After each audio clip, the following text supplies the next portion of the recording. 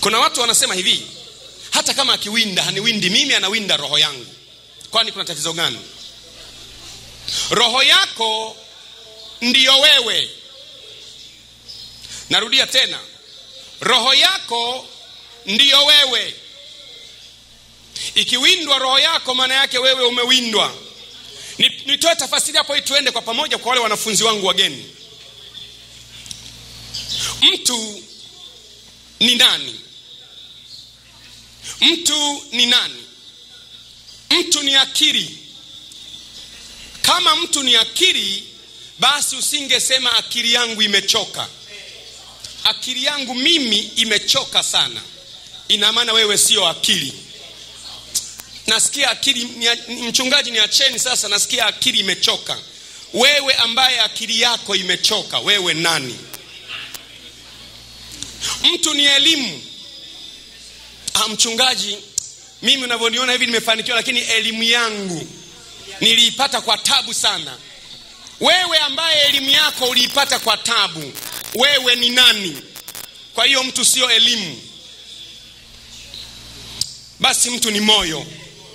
Moyo. Mtu ni moyo. Ah, mchungaji nimepata matatizo ya moyo moyo wangu unakwenda kufanyiwa operation upasuaji kesho. Wewe ambaye moyo wako unafanyiwa upasuaji wewe ni nani? Ah, mtu ni nafsi. Mchungaji nafsi yangu ina uchungu mkubwa sana. Ina uchungu mkubwa sana. Kwa hiyo sasa mtu ni nani? Mtu ni roho yenye nafsi inayokaa ndani ya nyumba na nyumba inaitwa mwili. Mtu ni roho yenye nafsi inayokaa ndani ya nyumba na nyumba inaitwa mwili. Roho inaweza kuwa nje ya mwili na inaweza kuwa ndani ya mwili. Roho inaweza kuwa nje ya mwili na inaweza kuwa ndani ya mwili na roho inapokuwa nje ya mwili maana yake ni mtu yuko nje ya mwili. Unaona kwenye wakorinto ile wakorinto wa pili sura ya kumi. Wakorinto wa pili sura ya kumi kuanzia mstari ule wa nne.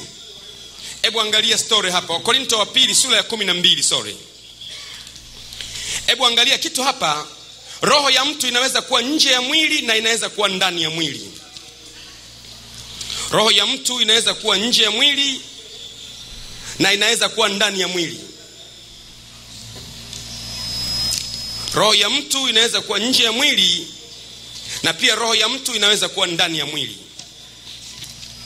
Roho ya mtu inapokuwa nje ya mwili ni mtu alikuwa nje ya mwili.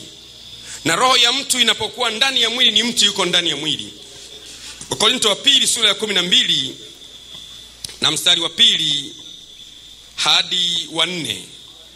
Namjua mtu mmoja katika kristo yapata sasa miaka kumi na minne kwamba alikuwa katika mwili sijui kwamba alikuwa nje ya mwili sijui mungu ajua. Mtu huyo alinyakuliwa mpaka mbingu, mpaka mbingu ya tatu. Nami namjua mtu huyo kwamba alikuwa katika mwili sijui kwamba alikuwa nje ya mwili sijui siju, mu, katika mwili sijui mungu ajua ya kuwa alinyakuliwa mpaka peponi akasikia maneno yasiyotamkika ambayo haijuzu mwanadamu ayanene. Paulo anasema anasema namjua mtu mmoja yapata miaka kumi na minne iliyopita kama huyu mtu alikuwa nje ya mwili sielewi sana au alikuwa ndani ya mwili sielewi sana. Maana yake roho ya mtu ikiwa ndani ya mwili ni mtu yuko ndani ya mwili roho ya mtu inapotoka nje ya mwili ni mtu yule yule lakini yuko nje ya mwili. Kwa maneno mengine wewe ni roho. Ndiyo maana ukiwa nje ya mwili ni yule yule. Ukiwa ndani ya mwili ni yule yule. Sikiliza vizuri. Wewe ni roho. Ukiwa nje ya mwili ni wewe yule yule. Ukiwa ndani ya mwili ni wewe yule yule. Ndiyo maana ukienda msibani unasikia maneno haya unasikia mwili wa marehemu huu hapa. Ulishawe kuuliza marehemu mwenyewe yuko wapi? Uliwahi kuuliza hilo swali? Msibani mwili wa marehemu mwili wa gari ya mchungaji gwajima.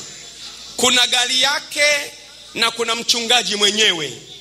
Shati la mchungaji mwangela kuna shati lake na kuna mwangela mwenyewe. Serikali ya rais kikwete kuna serikali yenyewe na kuna kikwete mwenyewe. Mwili wa marehemu hapa kuna mwili wenyewe na kuna marehemu wenyewe. Unasikia wanasema mwili wa marehemu utaagwa. Hamumwagi marehemu? Aa, mwili wa marehemu utaagwa. Utaagwa. Uliza swali tu uone watu watakavyokuangalia jamani nasikia mwili wa marehemu unaagwa leo saa nane. Marehemu mwenyewe yuko wapi? Utaona watu wote wamekunja uso wamekunja uso. Ukiwambia kwamba badala ya kuaga mwili wa unajua jambo baya kusema kwamba tunakwenda kuona kuona kuona kuona gari la gari la ndege ya helikopta ya ukiuliza tu jamani badala ya kuaga mwili naomba niage na marehemu niage na marehemu mwenyewe. Watu wote wanakunja uso watakwambia neno moja tu ametangulia mbele ya haki. Lakini wanaosema hawajaokoka hawamjui yesu watasema tu ametangulia mbele ya haki. Baadaye utaanza kuona shughuli zimeanza. Utaanza kuona limewekwa pale jeneza limekuja limwilimwili ndani limwili fulani ambalo bahati mbaya limeanza na kunuka inabidi liwekewe pamba puani. Lina time factors. Lina time factor. Unajua mwili wa kuku unawekwa kwenye friji kwa ajili ya matumizi. Na unauzwa. Kuna masoko kabisa ya mwili wa kuku unaitwa nyama ya kuku. Mwili wa ng'ombe ukipita ukauona mwili wa ng'ombe umening'inizwa mahala fulani kwenye dirisha ina kioo wala huwezi kusema unasema umeona mwili wa ng'ombe. Nimeona nyama ya ng'ombe. Kuna bifu kuna maini wala hamna tatizo. Mwili wa mbuzi mpaka tunachoma. Tumesema nipe nyama choma. Nyama ya mbuzi na ndizi za kuchoma. Mwili wa mtu ni wa kutupa mwili wa mtu wenyewe ni wa kutupa. Hebu jaribu kuwaza mwili ni wa, yani kuna utaratibu wa kutupa unaitwa mazishi. Lakini ni kutupa. Wana, wanajaribu wanajua dunia kwenye magari kuna vyombo vinaitwa shock absorbent. Kwenye gari kuna kakiungo kanaitwa shock absorbent. Yaani gari ikijipiga chini kenyewe kanapunguza ule kujipigapiga inaonekana kama kunesanesa ili usisikie kwamba gari imepiga chini.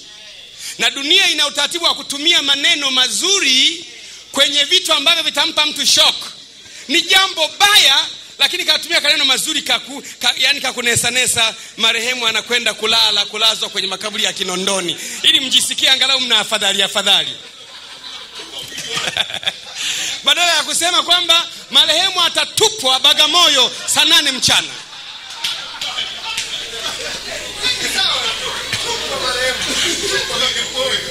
na kwa watu ndio maana kwenye theology jamani mii nimesoma theology. Kwenye theology tunafundishwa mtu hata kama amekwenda motoni siku ya msiba ongea maneno mazuri. Kwa sababu unaweza kuongea maneno mabaya ukamsababisha mwingine afe akaenda motoni naye. Ongea maneno mazuri ndugu zangu siku ya leo msiba huu umetugusa sana lakini unajua kabisa ameenda motoni umetugusa sana. Marehemu alikuwa mpenda watu mwenye ushirikiano mtu asiyekuwa na neno. Itakumbukwa siku za marehemu. Marehemu aliwahi kufanya hivi na hivi watu wote wametulia pale. Na usiimbe wimbo. Usiimbe wimbo mwamba mwamba ah, ah. haitakiwi wimbo ule natakiwa ume wimbo karibu na wewe mungu wangu karibu za siku zote niwe. Watu wanajisikia yani marehemu kabisa anakwenda ila wanatupa.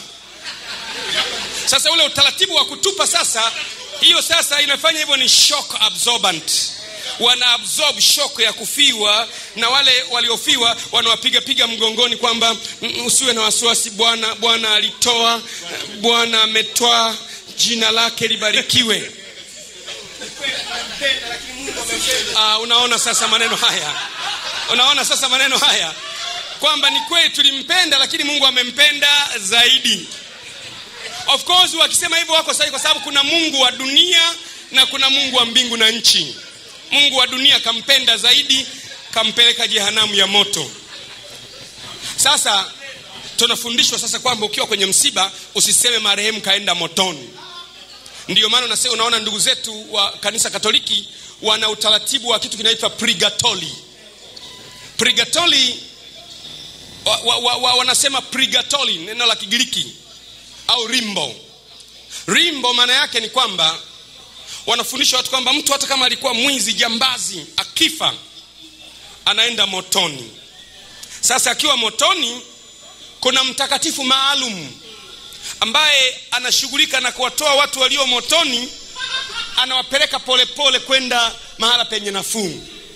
Kwa hiyo wewe unapewa jina la mtakatifu husika ambaye utakuwa unashughulika kumwomba huyo mtakatifu amumuvu amtoe mtu wako aliye motoni amuvu hatua moja.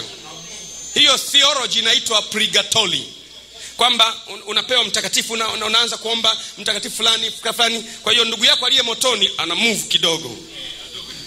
Sala nyingine ana move kidogo. Mpaka baadaye moto anakuwa anausikia kwa mbali. Baadaye anaanza kusikia kama moshi. Mkiendelea mkiendelea na move mkiendelea na muvu mpaka anasikia anaingia mbinguni hilo jambo lingekuwa ni kweli tungeanza makampuni. Pray for me after I'm gone limited company by share. Kwamba jamani nitakapoondoka msiniache. Wacha niibe wacha nifanye uzinzi wacha nifanye ukahaba. Niki, nikiondoka linaanzishwa kampuni kabisa. Pray for me when I'm gone limited company by share kitu hicho ndugu zangu hakipo. Waibrania sura ya tatu na mstari wa ishirina moja ishirina saba. Kwa maana mtu amepewa kufa mara moja na baada ya kufa hukumu. Unapokufa tu hapa duniani kama huna yesu unakwenda kufesi kifo cha pili. Hiyo jehanamu ya moto. Ni moja kwa moja. Na kwa desturi watu wanaogopa kuongea mambo ya kufa. Mchungaji mi sijaja kuogopeshwa kanisani nimekuja kanisani kupata faraja. Tumesikia vifo vingi sana kule mitaani. Mchungaji nimekuja angalau nipate neno la faraja. Sikiliza nikwambie kweli. Hapa hakuna faraja hapa. We are, we are, we, are doing fact finding. Tuna tuna tuna tuna, tuna kama ukianza kukata roho mimi mpaka huwa nafundisha unapokata roho nini kitatokea. Kama umeokoka uki, ukiona unakata roho kwa namna fulani piga reverse ukiona unakata roho kwa namna fulani ujue unakokwenda sio sawa. Ng'ang'ana uto uchomoke pale. Uone ah, ah, mbona nime, nime, nimeanza kukata roho isivyo? Kwa mfano kwa mfano nilishawahi kusema wacha niseme tena. It is by revelation. Kwa kawaida unapokuwa unakata roho kama nilivyosema ni wewe ambaye ndio roho yako unatoka ndani ya mwili. Unapotoka ndani ya mwili unajua nirudie tena hapo kwamba wewe ndiyo roho yako. Ndiyo maana bibii inasema hivi utakapokufa ukienda mbinguni kitabu cha majina kinafunguliwa. Na yule mtu ambaye jina lake halikuonekana limeandikwa kwenye kitabu cha uzima alitupwa katika ziwa la moto ina maana hapa duniani umekufa ulikuwa unaitwa jackson. Mwili wako unazikwa lile jina jackson unaondoka nalo kwenda mbinguni. Hapa duniani wanasema mwili wa jackson.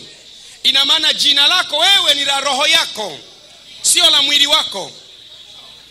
Unaondoka na hilo jina ukifika kule mbinguni unakuta kuna malaika wana vitabu na yule mtu ambaye jina lake halikuonekana limeandikwa.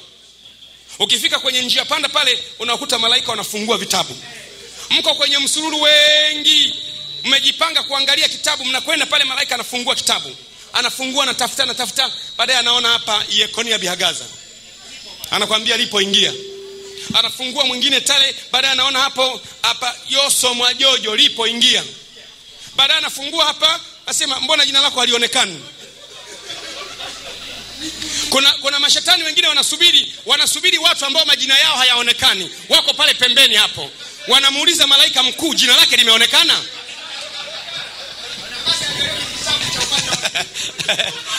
Na kwa kawaida bibilia haijasema kama kuna kitabu cha upande wa pili. Ukikosekana huku automatically huko kule.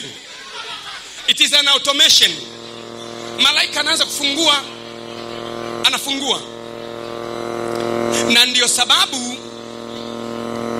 na ndio sababu mtu anapokuwa anaokoka huwa tunasema hivi baba mungu sema baba mungu anasema baba mungu.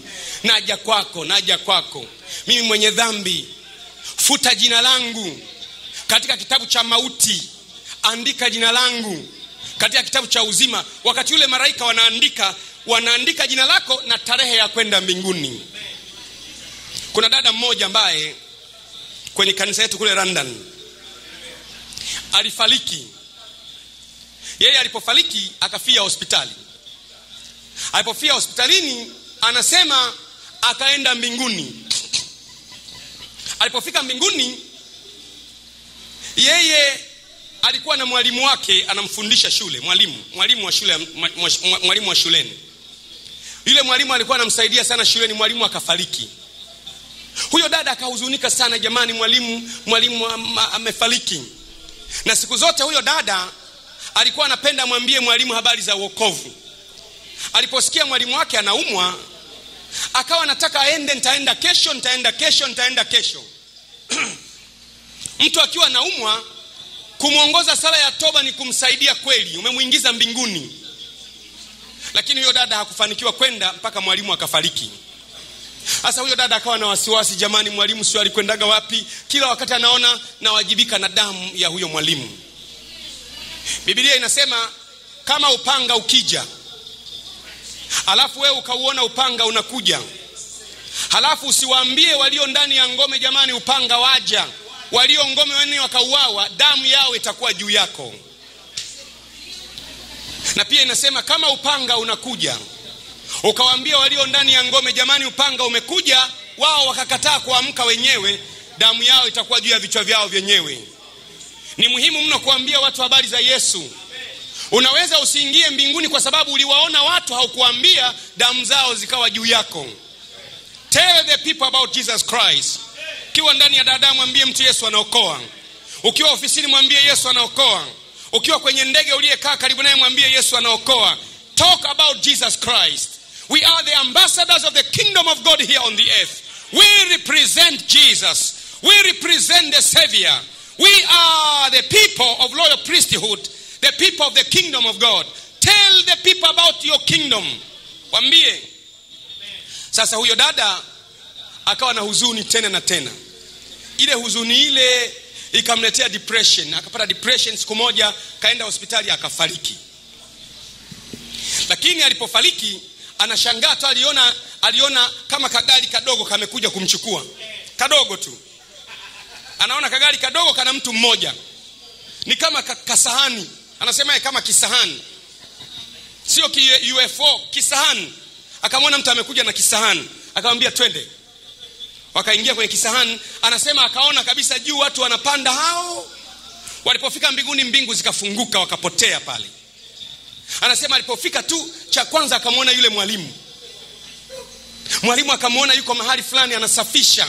Yuko kwenye garden mwalimu ana furaha kweli. Kwenye garden nzuri mwalimu anazunga ana furaha kweli. Akamwambia joisi umefika na wewe hapa? Akamwambia mwalimu kumbe huko huku. Akasema niko hapa sisi wale tuliokuwa duniani wale ambao tuliongozwa sala ya toba tu hatukufanya kazi yoyote hatukumtolea mungu sadaka hatukwenda kanisani tuliongozwa sala ya toba tu tunawekagwa hapa.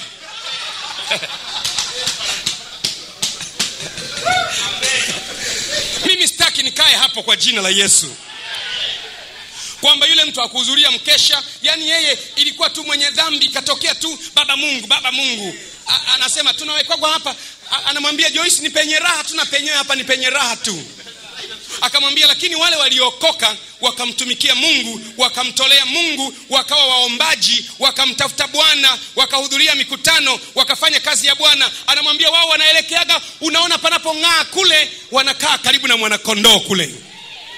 Mimi nataka nikae karibu na mwanakondoo nataka nimwone vile alivyo nimwone sura yake nifanane na yeye aliye mwanzilishi wa wokovu wangu.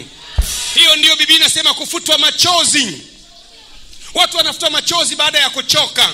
Huwezi kufutwa machozi kama hujachoka umesweti. Futwa machozi. Anasema akamkuta akamkuta akamkuta hapo mwalimu wake amwambia joyce umefika huku? Wewe usingetakiwa kufika hapa. Wewe akamwambia unatakiwa kwenda kule kwa wale baadaye malaika akamwambia bwana nimekuleta umuone mwalimu kwa sababu ulikuwa na hofu. Wakati anakata roho pale hospitali walipita walokole tu wanapitapita wakamwongoza sara ya toba. Ni vizuri ukienda hospitali kumwona mgonjwa wako usiishie kumwona mgonjwa wako tu. Ukimwona mgonjwa pita wodi nzima waombee waongoze sala ya toba. Huwezi kujua itakuwaje. Iko thawabu ya kuwapeleka watu mbinguni. Heri wapatanishi maana wale wataitwa wana wa mungu siende hospitali nimeenda kumwona mjomba afu katoka. Pale hapana. Una nafasi ya kupita kitanda hiki niku, naomba nikuombee. Atasema ndio mwongoze sala ya toba. Na huyu na huyu na huyu na huyu na huyu baadaye ondoka. Mungu anampeleka mtu wa mungu kwa makusudi. Ukijikuta umeenda gerezani kuna makusudi. Ukijikuta huko ofisini kuna makusudi. Ukijikuta huko london kuna makusudi. Mungu ni mungu wa makusudi na kusudi lake haliwezi kuzuiliwa na binadamu sasa joisi akamuuliza yule mwalimu sasa mbona mbona nimefika mbinguni simoni mungu? Mbona mungu simoni? Joisi anasema malaika akamwambia hebu angalia hapo juu. Anasema alipoinua kidogo hivi akauona mto. Akamwona mto wenye maji kama bilauli unatiririka kutoka kwenye kiti cha mwanakondoo. Akasema anataka kwenda pale. Aliposema tu akasikia ameshafika pale alafu sasa malaika anamwambia angalia haraka haraka nataka turudi duniani. Wanataka kupeleka mwili mochware akamwambia akaanauliza mwili ndiyo nani? Kwa sababu kama tulivyo na sura yake wa rohoni yaani wewe ukitoka ndani ya mwili uko vile vile kama ulivyo nje. Kama ulivyo nje ndivyo ulivyo ndani. Ndiyo maana nikawaona wakubwa kwa wadogo wamesimama katika kiti cha enzi ina maana kama ni uko mdogo ni mdogo. Kama uko mkubwa mkubwa waacheni watoto wadogo waje kwangu. Kwa maana ufalme wa mbinguni ni wao. Ina maana mbinguni wako watoto. Waliokufa wakiwa watoto hapa mbinguni wanahesabika ni watoto. Hawakumzalia mungu matunda yoyote. Ndiyo maana ni faida pia ukifa ukiwa mtu mzima umezaa matunda mi nataka nizae matunda. Mi nataka niokoe watu. Mi nataka nirudishe waliochukuliwa. Mi nataka nigeuze falme za dunia ziwe za mwanakondoo. Mi nataka niwababue wajinga wajinga wa hapa duniani. Kabla sijarudi mbinguni niambiwe na bwana uliwakomesha hapo duniani. Kwambie jambo. Bibilia inasema waziwazi kwamba hata kama ukiishi miaka mia moja ukazaa watoto mia. Lakini kama nafsi yako haikushiba mema na wewe ni heri kuliko mimba iliyoharibika. Unaona? Kwa hiyo alipofika pale anasema joisi akaambiwa sasa fanya haraka haraka kule duniani kule duniani mwili wako wanapeleka mochwari. Lakini kabla ya hapo akapelekwa kwenye lango moja sasa akuta kitabu. Akuta kitabu hapa sasa sasa malaika akaanza kufungua kitabu akafungua kitabu akafikisha mpaka mwisho. Joisi anakumbuka malaika akasema huyu hapa leo sio tarehe yake. Malaika anasema sio tarehe yake. Sio tarehe yake. Alafu joisi akasema samani kwa sasa sio tarehe yangu kwa sababu nimeshafika. Jamani angalau niangalie angalie. Akaambiwa angalia haraka haraka. Akaangalia haraka haraka akapita. Baadaye akaambiwa rudi haraka mwili wako utazikwa baadaye baada ya muda akarudi akaingia ndani ya mwili akaamka watu wamebeba wanapeleka mochwari akawaamkia mikononi. Maana yake nini? Unapotoka ndani ya mwili wewe ni yule yule. Prosperity is for our body but spiritual prosperity is for our spirits. Ukimiliki mali ukimiliki kazi ukawa na fedha kama fedha hiyo haisaidii kujenga ufalme wa mungu umepotea. Narudia tena mungu anataka tufanikiwe na kuwa na afya njema kama roho zetu zinavyofanikiwa. Unakuwa na fedha unakula vizuri unalala pazuri unaendesha gari zuri wanao wanasoma shule nzuri na fedha hiyo inamtumikia bwana. Unamtumikia bwana kwa nguvu zako zote kwa akili zako zote na kwa moyo wako wote. Hebu sema amen. Wanaotaka kumiliki fedha kwa ajili ya maisha mazuri na kumtumikia bwana mungu awape fedha kwa jina la yesu wanaopenda kumiliki fedha kwa ajili yao wenyewe mungu asikupe fedha maana utafika mbinguni zitakufikisha pabaya. Lakini wale wanaotaka mimi nataka kumiliki fedha fedha yangu ni ya bwana na ya bwana ni ya kwangu. Nikiwa nacho bwana anacho bwana akiwa nacho mimi ni nacho. Mimi na bwana tuko pamoja. Huwezi kunitenga na bwana. Ni jambo gani litakaonitenga na upendo wa bwana? Je ni yaliyo juu? Je ni yaliyo chini? Je ni wenye mamlaka? Sasa najua hakuna kitakachonitenga na upendo wa bwana. Kila nilipo niliyopo nitapiga kelele. Nitasema ni bwana ndiye amenisaidia. Bwana ndiye amenivusha. Kama asingekuwa bwana israeli na aseme sasa amen. Sasa roho mtu ni roho inayokaa ndani ya nyumba. Nyumba inaitwa mwili. Mtu anaweza kutoka ndani ya mwili wake. Sasa roho inaweza kuindwa. Roho tumeangalia roho inaweza kutolewa na roho inaweza kuindwa. Ezekieli sura ya 13 na mstari wa 18 useme bwana asema hivi ole wao wanawake washonao hilizi katika viungo vyote vya mikono. Mi nashangaa si hakuna wanaume washonao hilizi Biblia inasema ole wao wanawake washonao hilizi theoloji ya kwa nini Biblia inawataja wanawake na hilizi nitaifundisha siku ingine utaona usimwache mwanamke mchawi kuishi kwani hakuna mwanamume mchawi? Ole wao wanawake washonao hirizi katika viungo vyote vya mikono wawekao leso juu ya vichwa vya, vya kila kimo ili wawinde roho za watu. Je mtaziwinda roho za watu wangu na kuzihifadhi roho zenu wenyewe? Unaona roho ya mtu inaweza kuwindwa. Tumeona hapo juu roho ya mtu inaweza kutolewa na tumeona roho ya mtu inaweza kuwindwa. Mstari wa ishirini. Basi bwana mungu asema hivi tazama mimi ni kinyume na hilizi zenu ambazo kwa hizo mnaziwinda roho za watu kama ndege. Nami nitazitoa katika mikono yenu kwa nguvu. Nami nitaziachilia roho zile mlizoziwinda kama ndege. Unaona kumbe roho zinaweza kuwindwa. Tumeona roho inaweza kutolewa ndani ya mwili wa mtu na tunaona roho inaweza kuwindwa. Sikiliza vizuri sasa. Sasa kifo cha kutengeneza maana yake ni nini kifo cha kutengeneza maana yake ni hii. Kuna watu wanafikiri kwamba kifo ni tukio. Kifo ni roho. Kifo ni roho. Inayoweza kuambiwa nenda kwa fulani ukautoe uhai.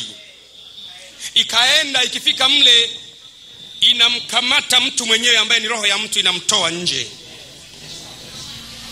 Ndiyo maana tumeona yesu akaitoa roho yake yaani yesu mwenyewe akaiamuru roho yake itoke. Lakini kifo au mauti mauti ni roho ni jini ni joka ni pepo. Anaweza kutumwa kuingia ndani ya mtu anaikamata roho yako ambaye ni wewe anakutoa nje. Akikutoa nje hapo hapo moyo unasimama hauwezi kupiga tena. Bibilia inasema kwenye kitabu cha yohana sura ya sita na mstari wa sitini na tatu roho ndiyo itia ya uzima mwili haufai kitu. Kwa hiyo linatumwa jini ambalo linaitwa mauti au kifo. Kwa ndugu zetu wenye mira za kiarabu linaitwa jini makata au joka au pepo au mzimu. Linaambiwa nenda ukaingie kwa mtu yule umtoe ndani lile joka au jini linakuja linaingia ndani yako. Linakukamata wewe ambaye ni roho yako linakukokota kutoka nje ya mwili. Unapokuwa unanyofolewa ndani unaanza kusikia hewa inaisha. Jamani nasikia hewa inaisha jamani. Unapoanza kutoka ndani tayari kwa sababu roho ya mtu ndiyo injini ya ubinadamu wa mtu moyo unasimama. Kazi ya moyo ni kubeba oxygen kupeleka kwenye mwili mzima na nutrients nyingine. Na kubeba carbon dioxide kuibeba kuileta kwenye mapafu kuitoa nje. Roho ikitoka tayari mtu anaanza kufa. Watu wanashangaa hospitali hospitalini huwa hakuna kipimo cha kupima roho imetoka au haijatoka. Hospitalini hamna kipimo cha kupima roho imetoka au haijatoka. Madaktari mlio hapa mtakubaliana na mimi daktari mzuri ili ujue mtu amekufa. Kuna mambo kama manne. Jambo la kwanza unachoangalia akiletwa mtu pale unaangalia cha kwanza chest movement. Chest movement. Kwamba mtu akiwa hai akiwa anapumua utaona kifua kinapanda na kinashuka kinapanda kinashuka kinapanda kinashuka kinapanda kinashuka kwa hiyo akiona kifua akipandi wala akishuki anaandika namba moja no chest movement. Utafikiri kazitengeneza mwenyewe chest movement. Cha pili anaangalia eye movement. Anafungua macho. Hata kama umezimia macho yanakuwa yanakwenda hivi ingawa umefumba macho. Akilifungua jicho limeng'aa tu kama tochi. Haliendi kushoto wala kulia limeng'aa anasema no eye movement. Kingine anaangalia anaangalia pressure. Anaweka pressure hapo anakuta pressure ni zero zero. Cha nne anaangalia pasi za moyo pasi za moyo. Ukishika kwenye mkono hivi mahali kwenye mkono utasikia hapo chip chip. Hata kama moyo haupigi utaona hapa chip chip chip. Akiona pasi za moyo hazipo tayari apelekwe mochwari hivyo tu ukisikia ukisikia umekwenda mwimbili wakasema amefariki ndio hivyo tu ambavyo hata wewe unaweza kufanya nyumbani. Ukisikia tumemfikisha hospitalini kesha, kesha fariki sio kwamba daktari alichukua mavyuma akaanza kuchokonoa hapana. Kwamba akachokonoa akaangalia hebu hebu hebu ni hebu leteni spiritometer kwamba leteni spiritometer nichomeke mahali afu nisikilizie nisikilizie spiritualism. Hapana. Anaangalia tu no chest movement no eye movement. Hakuna pasi hakuna pressure. Anasema mochwari. Sisi hatuangalie hayo. Si tunaangalia hakuna eye movement sawa. Tunaangalia hakuna chest movement sawa. Presha haipo sawa. Pasi za moyo hazipo sawa. Tunaamini mtu huyu hajatoweka kufa sio kupotea. Kufa sio kuyeyuka. Kufa ni kutoka ndani ya mwili yuko nje mahali. Tunamwita sisi fulani njoo! Yesu alimwita lazaro njoo akaja. Huo ndio ushindi tulionao sisi. Tunajua hata kama kifua hakichezi hata kama macho hayachezi hata kama presha ni zilo hata kama pasi za mwaya zipo si tunajua inawezekana lazaro alikuwa amekufa na ameoza na ananuka. Yesu alipoita akaita akarudi. Saa yaja na saa ipo walio makablini wataisikia sauti ya mwana wa adamu. Yohana sura ya tano na mstari wa ishirini na tano na ishirini na sita. Biblia inasema saa yaja na saa ipo. Walio makablini wataisikia sauti ya mwana wa adamu nao watatoka katika makaburi yao. Na mi nasema tena saa ni leo. Wale ambao walikufa kwenye mazingira ya utata wanaweza wakaitwa wakarudi katika jina la yesu. Hiyo ndio inatofautisha ufufuo na makanisa mengine. Makanisa mengine wakipigiwa simu fulani kafariki shughuli za maandalizi ya msiba zinaanza.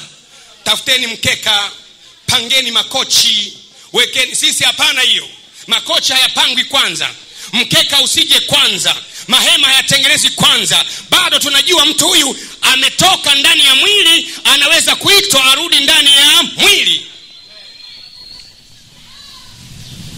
Kama wewe ukiwa unakata roho acha maneno kabisa. Waambie jamani naona kana kwamba naitwa lakini mtaniita na nyie nampenda mtu mmoja anaitwa smith wigglesworth. Huyu jamaa alikuwa amekwenda kuhubiri na rafiki yake. Wamekwenda kuhubiri na rafiki yake waliporudi nyumbani wakuta mke wa rafiki yake amefariki. Amekufa. Wameenda kuhubiri na rafiki yake mke wa rafiki yake amekufa. Yule jamaa akasema nipelekeni mochwari. Wakampeleka mochwari alafu akamkuta mke wa rafiki yake akamamsimamisha akamwambia kwa nini umekufa bila kujali tumeenda kufanya kazi ya bwana? Anamuuliza mke wa rafiki yake kwa nini umefariki without caring that we have gone for god's work? Hapa akampiga ngumi tumboni. Amka! Huyo mama akaamka akamwambia agana na mmeo. Halafu akamwambia akamwambia i want you halafu yule mama akamjibu jesus needs me. Anamwambia nakutaka mke wangu. Alafu yule mama naye akasema oh, jesus also needs me. Yesu ananihitaji pia. Basi tuagane. Sio kuondoka ondoka hovyo hovyo tu. Wakaagana wakakumbatiana mama akadondoka tena ti. Jamaa akasema tuendeni tukahubiri injili. Amekwenda mbinguni. Sio ile kufa hovyo hovyo tu. Bila utaratibu. Unajifiafia tu mwangalie mwenzako mwambie kataa kujifiafia hovyo hovyo. Mara ufe mtaani mara kwenye bajaji mara kwenye pikipiki mara wapi mara sumu mara maji mara nini mara mara mara dengu mara nini hovyo hovyo. Na kataa kufa hovyo hovyo kwa jina la yesu. Hebu sema amen. This is possible. And this is what brings our difference we are normal people but we are moving in a different realm. Tunatembea kwenye ulimwengu wa tofauti. Ukifa hapa tumaini bado lipo. Tunahubiri mpaka beyond death. Watu wengine ng'ambo ya mauti hawaendi. Sasa kwa hiyo kumbe roho ya mtu inaweza kuwindwa. Roho ya mtu inaweza kuwindwa na roho ya mtu inaweza kukamatwa. Naanza kushuka polepole pole sasa. Sasa mauti siyo tukio mauti ni roho. Ukisoma kwenye bibilia hebu tuangalie kwa pamoja neno hili. Alafu baadaye nataka niteremko kwenye mteremko mmoja ambao ni wakabe walioleta mauti kwenye maisha ya watu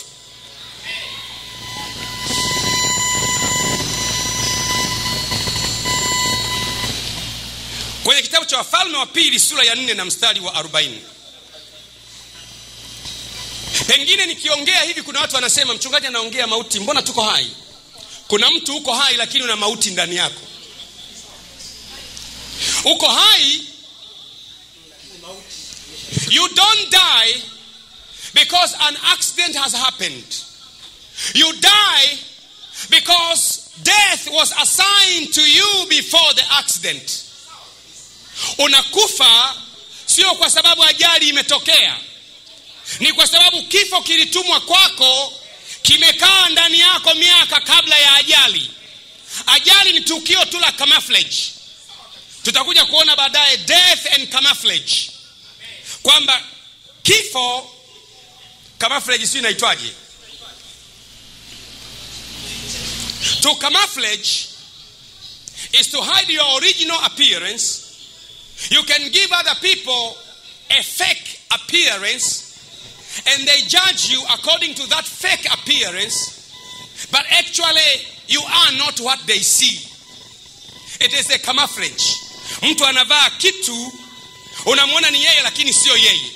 Kifo na chenyewe kina namna hiyo. Kifo hakiwezi kukuta umekaa kikakuingia chini ti hapana.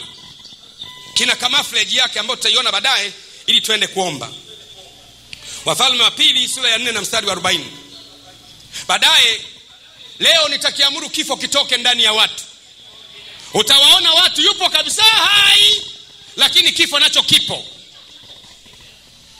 Mwangalie mwenzako usoni